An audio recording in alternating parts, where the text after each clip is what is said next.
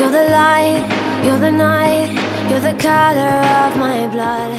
Hoje vamos contar a história da Maria Luísa. Mas para isso, vamos para um passado muito próximo, onde tudo começou. No dia 30 de abril de 1997, Márcio e Josiane iriam mudar o sentido de suas vidas. O amor à primeira vista. O namoro surgiu. O noivado aconteceu. E logo veio o casamento. Com dois anos de casados, receberam a notícia mais linda e singela. Josiane estava grávida. Então nasceu a Maria Luísa, nome esse em homenagem às pessoas mais importantes da vida do Márcio e da Josiane, pois é o nome de suas mães. Maria Luísa, uma criança muito feliz, inteligente e muito fotogênica, por sinal. Ela é muito amada por seus avós paternos, afinal, foi a primeira neta e até hoje é a única menina entre os netos.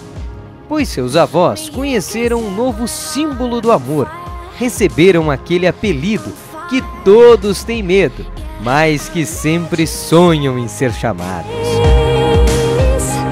Vovô Deudir e vovó Vera Luísa.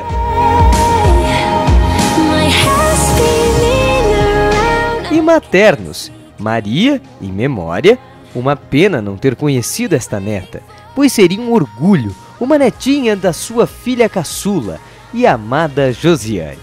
O avô Etelvino, que mora junto da Maria Luísa, também demonstra todo o seu amor pela neta. Maria Luísa é muito amada por todos e também muito mimada pelos seus padrinhos de batismo, Fabrício e Neisa.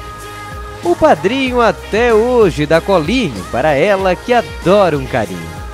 A madrinha de consagração de Janeira adora mexer nos seus cabelos e maquiar.